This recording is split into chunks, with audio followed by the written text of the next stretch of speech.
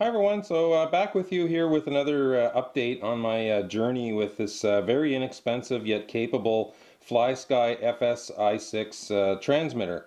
Uh, so very early on when I when I purchased this, um, you know, I knew that there was free firmware available for this transmitter to upgrade it to actually have 10 channels, a whole bunch of RSSI things, telemetry, uh, the main thing I wanted, as, uh, as you can see here, let me just get something a little slimmer than my finger, is uh, it. I wanted to have a timer here on, uh, you know, so that uh, when I fly, I can, you know, just flip a switch and it'll have a countdown timer rather than playing around with a countdown timer on my watch.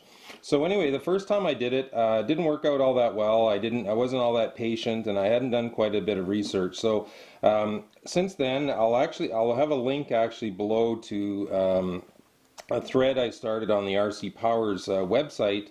Uh, about how how I essentially did the firmware upgrade. I'm not going to show you how I did the firmware upgrade. It's fairly uh, simple. I, uh, I picked up one of these uh, cables from Banggood. Um, this part goes into the back of the transmitter. This one goes into my computer uh, via USB. That cost me about four dollars. Uh, worked really really well. So you can you can see the details on how I did that, including the links to get where I got the firmware uh, on the uh, RC Powers uh, thread that I started. Um, one of my frustrations when I first tried it was I couldn't seem to figure out how to get the timer to work properly. So uh, I did quite a bit more research, read through. There's a, a, very long thread on RC groups, I think about 229 pages, which I'll have linked below. Uh, watched a few more YouTube videos and then just sat down with my, uh, my patience pants on and uh, just kind of figured it out on my own. So uh, I'll just go into uh, so to the new menu. This this is actually a whole different uh, screen here, startup screen. Now everything I'm going to show you here so far, it only works with uh, the AFHDS2A uh, mode in the receiver, which you have to use, or the transmitter, which uh, you know goes with these uh, receivers that have the twin uh, antennas. Um, you know, one of the reasons that I picked this up was that I can run it with this uh, single antenna uh, receiver, which I use from Hobby King with my uh, uh, Turnigy 9X, but it does not seem to allow me to use the timer when I'm in the uh, the receiver mode for AF, AFHDS, so the or the single antenna uh, receiver. So anyway, so I'm just going to go get into the menus here. so pretty much everything is uh, very similar. Uh, then you get down to this uh, here called uh, Extra. So press on OK. So the first uh, selection is Timer. Press on Timer. Now what I have, I, I have it, um, uh, I just put it on channel 10. Actually, let's go back. Let's do this, do it this way first. So um, this is the only uh, one of the only new uh, selections you have in the functions menu. So now you can see it goes down to channel 10. So what I did on mine, oops, uh, this is another menu where you, you scroll down using the OK button. And in channel 10 I selected switch D, which is this switch up here, it's labeled. Um, that's going to be my timer switch. On my, on my 9X, uh, I have my, my throttle kill switch over here and my timer switch over here so that's why I programmed it this way. So I have switch D selected for channel 10 so that will activate uh, channel 10 okay so let's go back. So extra. Now this is where it got confusing for me. You can see this this uh, here that says value 1100 it goes in increments of 10 from 10 to 2200 if I had it at 10, as soon as I turned the transmitter on, didn't matter what else I had set, the timer would start counting down, which is not really what I wanted. And then if I put it all the way up to 2200, I'm you know I'm trying to figure out what these things mean. It wouldn't uh, activate on the switch. So I split the difference and I went with 1100. And then you come, you can uh, scroll down. Oops.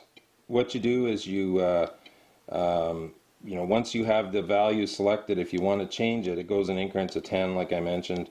You just use your up and down over here, and then to set the timer and the alarm. Now I can only set it, it only goes in 10 second inc increments. So just for this video I have it set uh, at uh, 10 seconds. Alright, so let's get um, let's get out of that. Okay, so now if I'm flying, you know, I launch my plane and I flip my switch down, now you can see up here that it's uh, counting, it's actually counting up. Now, it doesn't, um, um, okay, we'll just let it go off.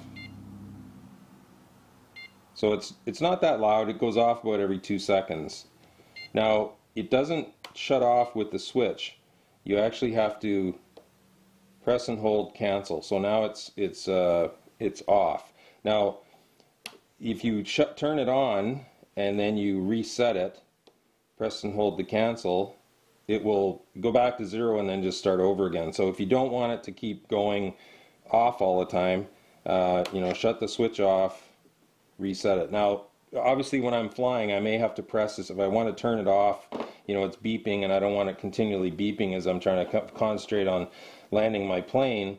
I'll probably have to remember to press this twice because once the back screen light goes off, you have to press a button uh, to, you know, and the back screen light comes on and then the button will uh, be activated. So uh, yeah, so that was pretty simple. So again, I've, I've just selected it to a switch and, uh, and away we go. Now it, the strange thing is I'm not going to go through it all. If you go into, if, if I was to select this model as an AFHDS, so using the single antenna receiver, uh, it does have a timer set up, so you can you can set it up, but then it doesn't work. So uh, so unfortunately, um, I, I think it's for me anyway, unless there's some other way of hacking it or doing it, it's going to need me to use these uh, twin antenna receivers.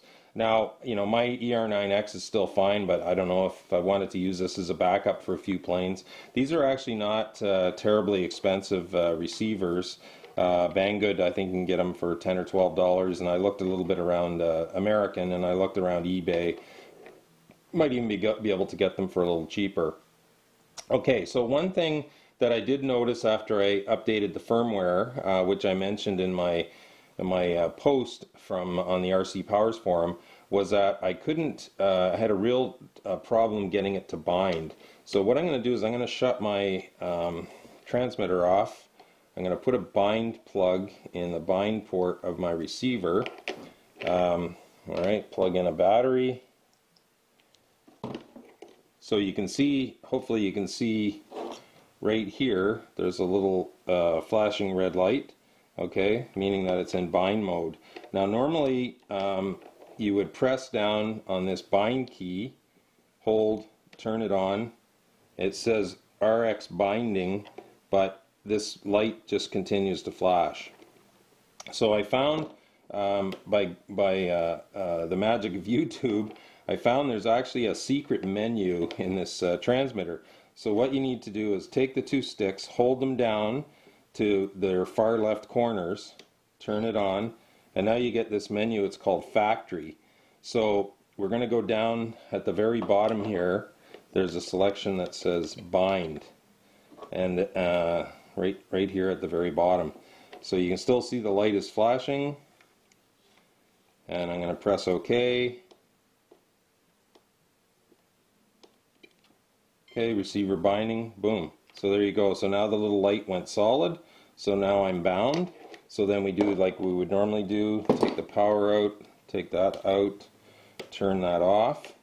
And then when we come back, turn it back on again, we go back to our normal menu, not to our to our secret menu. And there we are. Now I've got a solid red light and my my uh, receiver is bound. So uh, yeah so there there we go. Um, you know that's that's about uh, as simple as it, as it is for me. So I'm not going to go over any of the other features that came with the uh, with the down with the firmware upgrade because none of those uh, were really important to me. Primarily I just you know I just wanted to have uh, a countdown timer and uh, so it looks like um, uh, that's working now. So anyway, um, like I said, uh, please uh, check the comments down below. Uh, you'll find the link to how I did the firmware upgrade. Uh, I would strongly encourage you, if you haven't already, if you have one of these transmitters or if you're thinking of buying one, is pick up this this cable um, so that you can do the firmware upgrades. Um, it just makes life uh, uh, really, really uh, easy. So again, it only seems to work properly with these uh, twin antenna uh, receivers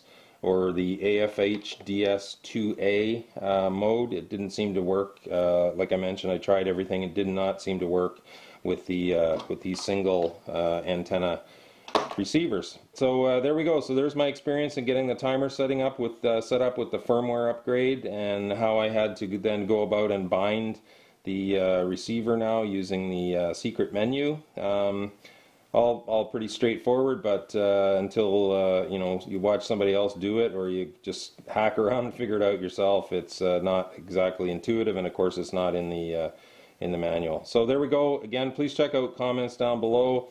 Um, and uh, thanks very much for watching. Blue skies, calm winds to everyone. Park jet noise, the other sound of freedom, baby. Take care.